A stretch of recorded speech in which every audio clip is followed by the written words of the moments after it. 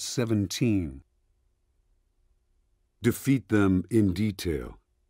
The divide and conquer strategy. When you look at your enemies, do not be intimidated by their appearance. Instead, look at the parts that make up the whole. By separating the parts, sowing dissension and division from within, you can weaken and bring down even the most formidable foe. In setting up your attack, work on their minds to create internal conflict. Look for the joints and links, the things that connect the people in a group or connect one group to another. Division is weakness, and the joints are the weakest part of any structure. When you are facing troubles or enemies, turn a large problem into small, eminently defeatable parts. The central position. One day in early August of 490 BC, the citizens of Athens received word that a massive Persian fleet had just landed some 24 miles to the north, along the coastal plains of Marathon.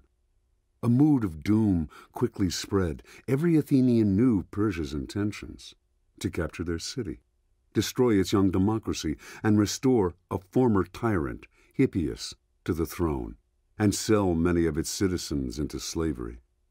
Some eight years earlier, Athens had sent ships to support the Greek cities of Asia Minor in a rebellion against King Darius, ruler of the Persian Empire.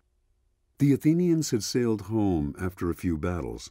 They soon saw that this business was hopeless but they had participated in burning down the city of Sardis, an unforgivable outrage, and Darius wanted revenge. The Athenians' predicament seemed desperate. The Persian army was enormous, some 80,000 men strong, transported by hundreds of ships. It had excellent cavalry and the best archers in the world. The Athenians, meanwhile, had only infantry, some 10,000 strong. They had sent a runner to Sparta, urgently requesting reinforcements, but the Spartans were celebrating their moon festival, and it was taboo to fight during such a time. They would send troops as soon as they could, within a week, but that would probably be too late. Meanwhile, a group of Persian sympathizers within Athens, mostly from wealthy families, despised the democracy, looked forward to Hippias's return, and were doing their best to sow dissension and betray the city from within. Not only would the Athenians have to fight the Persians alone, but they were divided into factions among themselves. The leaders of democratic Athens gathered to discuss the alternatives, all of which seemed bad. The majority argued for concentrating the Athenian forces outside the city in a defensive cordon. There they could wait to fight the Persians on terrain they knew well.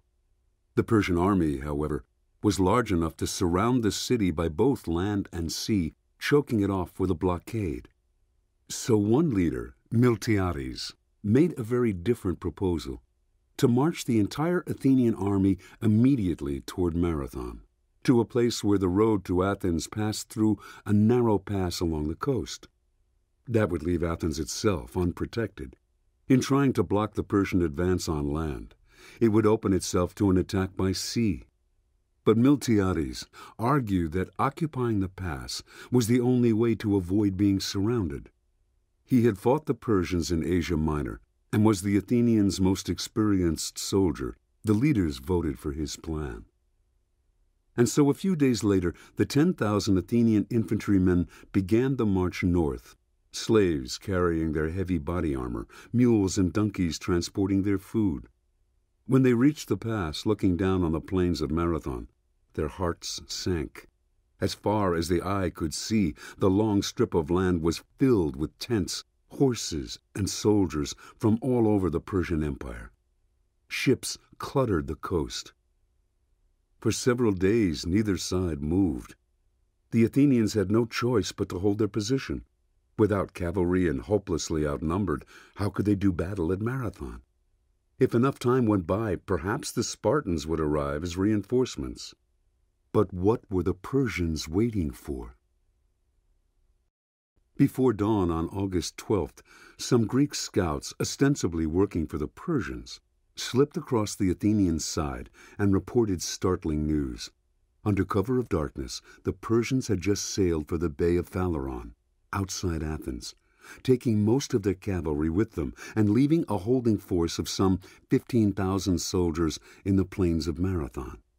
They would take Athens from the sea, then march north, squeezing the Athenian army at Marathon between two larger forces. Of the Athenian army's eleven commanders, Miltiades alone seemed calm, even relieved. This was their opportunity. As the sun was getting ready to rise, he argued for an immediate attack on the Persians at Marathon. Some of the other commanders resisted this idea. The enemy still had more men, some cavalry, and plenty of archers. Better to wait for the Spartans, who would surely arrive soon. But Miltiades countered that the Persians had divided their forces. He had fought them before and knew that the Greek infantryman was superior in discipline and spirit. The Persians at Marathon now only slightly outnumbered the Greeks. They could fight them and win. Meanwhile, even with a good wind, it would take the Persian ships ten to twelve hours to round the coast and arrive at the Bay of Phaleron. Then they would need more time to disembark the troops and horses. If the Athenians defeated the Persians at Marathon quickly, they would have just enough time to run back to Athens and defend the city the same day. If instead they opted to wait, the Spartans might never arrive. The Persians would surround them, and more ominously, the Persian sympathizers within Athens would probably betray the city from within and open its walls to the barbarians. It was now or never. By a vote of six to five, the commanders decided to attack at dawn. At six in the morning, the Athenians began their charge. By nine in the morning, the Athenians had control of the plains, having lost fewer than 200 men. Although emotionally spent by this battle, the Athenians now had only around seven hours to make the 24 miles back to Athens in time to stop the Persians. There was simply no time to rest. They ran, as fast as their feet could take them, loaded down in their heavy armor, impelled by the thought of the imminent dangers facing their families and fellow citizens. By four in the afternoon, the fastest among them had straggled to a point overlooking the Bay of Phaleron. The rest soon followed. Within a matter of minutes after their arrival, the Persian fleet sailed into the bay to see a most unwelcome sight. Thousands of Athenian soldiers, caked in dust and blood, standing shoulder to shoulder to fight the landing. The Persians rode at anchor for a few hours, then headed out to sea, returning home. Athens was saved. Interpretation Miltiades' plan worked by the narrowest of margins, but it was based on sound and timeless principles. When a powerful foe attacks you in strength, threatening your ability to advance and take the initiative, you must work to make the enemy divide its forces and then defeat these smaller forces one by one, in detail, as the military say. There will be times in life when you face a powerful enemy, a destructive opponent seeking your undoing, a slew of seemingly insurmountable problems hitting you at once. It is natural to feel intimidated in these situations, which may paralyze you into inaction or make you wait in the vain hope that time will bring a solution. But it is a law of war that by allowing the larger force to come to you at full strength and unified, you increase the odds against you a large and powerful army on the move will gain an irresistible momentum if left unchecked. You will find yourself quickly overwhelmed. The wisest course is to take a risk, meet the enemy before it comes to you, and try to blunt its momentum by forcing or enticing it to divide. And the best way to make an enemy divide is to occupy the center. Think of battle or conflict as existing on a kind of chessboard.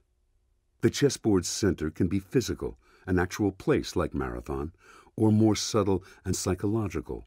The levers of power within a group, the support of a critical ally, a troublemaker at the eye of the storm. Take the center of the chessboard, and the enemy will naturally break into parts, trying to hit you from more than one side. These smaller parts are now manageable can be defeated in detail or forced to divide yet again. And once something large is divided, it is prone to further division, to being splintered into nothingness. Keys to warfare. In 338 BC, Rome defeated its greatest enemy at the time, the Latin League, a confederation of Italian cities that had formed to block Rome's expansion. With this victory, however, the Romans faced a new problem how to govern the region. If they crushed the League's members, they would leave a power vacuum, and down the road another enemy would emerge that might prove a still greater threat. If they simply swallowed up the cities of the League, they would dilute the power and prestige of Rome, giving themselves too large an area to protect and police. The solution the Romans came up with, which they would later call divide et impera, divide and rule, was to become the strategy by which they forged their empire. Essentially, they broke up the League, but did not treat all of its parts equally. Instead, they created a system whereby some of its cities were incorporated into Roman territory and their residents given full privileges as Roman citizens.